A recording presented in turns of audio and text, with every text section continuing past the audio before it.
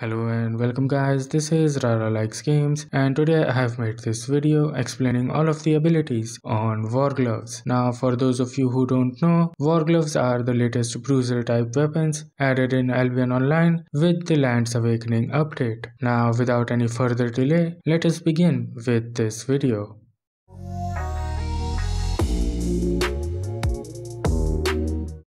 Now, unlike any other weapon type in Albion Online, War Gloves have 4 Q slot abilities, the first of which is called Create Opening. In this ability, you attack a targeted enemy dealing physical damage. While this ability does not have any cooldown, it can be recast within 1.25 seconds. If you recast this ability, it reduces the enemy's damage resistance for the next 3 seconds. This also increases the cooldown of the ability to 4 seconds. Now the second Q slot ability is called Dragon Leap. While using this ability, you leap toward a target direction, dealing damage to all the enemies around you. If you hit one of the enemies, you can recast this ability for the next 4 seconds. If recast, you will do an uppercut which will deal more physical damage and knock the enemies up in air for 0.5 seconds. Now your third Q slot ability is called cross tap. You dash behind an enemy target, increasing your attack speed and physical attack damage by 25%.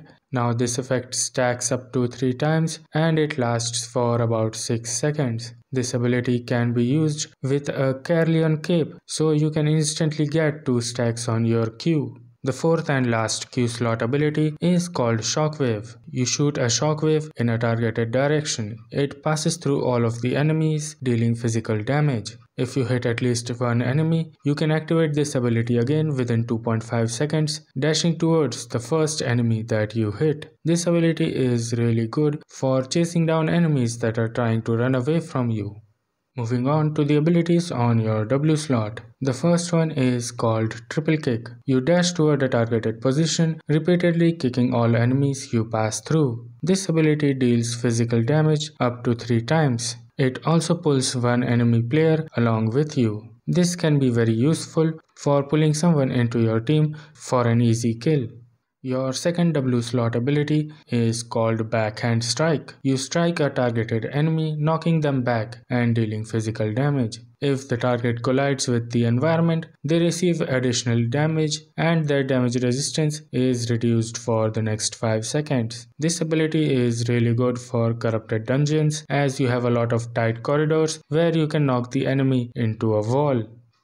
Your third W slot ability is called Counter. When activated, you enter a defensive stance, increasing your defenses by 75% while channeling for up to 1.2 seconds. This channel cannot be interrupted. While channeling, you also reflect 100% of the damage you take as magic damage. Upon taking any damage, you instantly leap towards the enemy that hit you, dealing massive physical damage in a 4 meter radius around you knocking all the enemies back by 3 meter. This ability is great for engaging on the enemy group and it can also be very useful for catching up to ranged enemies.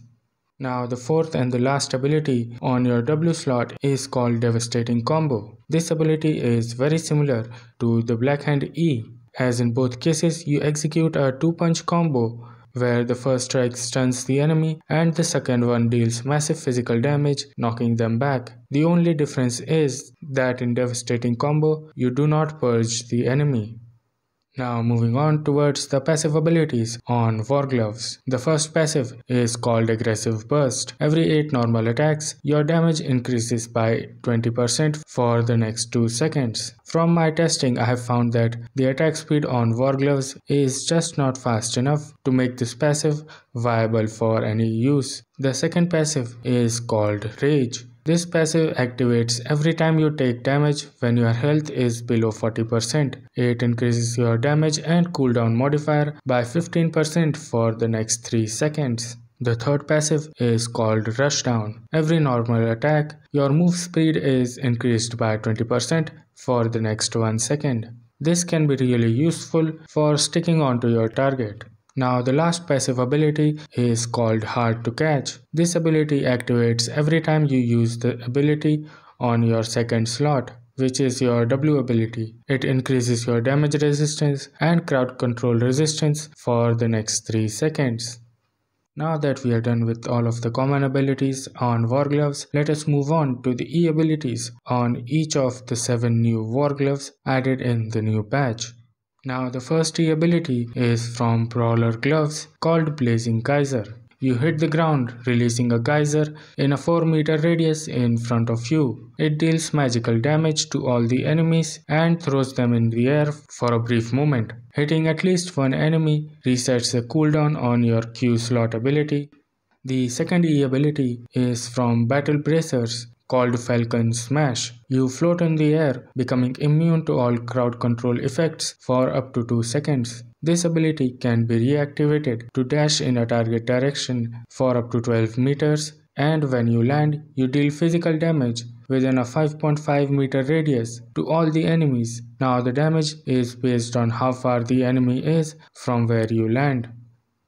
Now the third E is from Spiked Gauntlets and it is called Gravitational Collapse. You unleash a powerful punch in a cone in front of you, dealing magic damage and slowing the enemy down. Now the damage and slow is based on the type of armor the enemy is wearing, dealing the maximum amount of damage and slow to plate armor and the least amount of damage and slow to cloth armor. Against mobs, this ability deals damage equal to the plate armor. The fourth E ability is from Ursine Maulers and it is called 100 Striking Fists. You release a flurry of fists in a cone in front of you, channeling for up to 2.5 seconds, dealing physical damage every 0.5 seconds. Now this channel cannot be interrupted and the cone follows your cursor's position so you can change the direction of the cone. Now after 2 seconds, the last hit that hits the enemy deals an additional damage based on the number of hits they have received. This effect stacks up to 10 times.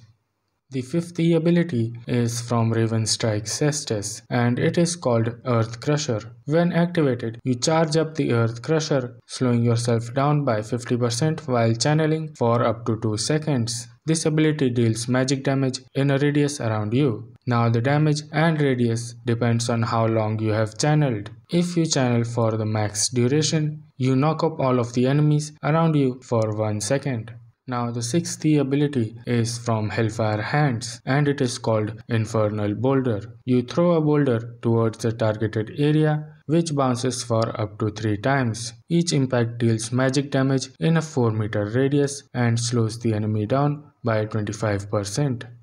Now the last ability is from Fists of Avalon and it is called Purifying Combination. It is a three-part combo ability where the first attack is called roundhouse kick. You deal damage in a small cone in front of you, knocking back all of the enemy players. The second attack is called Dive Kick. You leap toward the target direction, becoming immune to all of the crowd control effects until impact. When you hit the ground, you throw all the enemies in air for a brief movement and deal physical damage to them. The third attack is called Purifying Fist. You punch an area in front of you, dealing massive physical damage.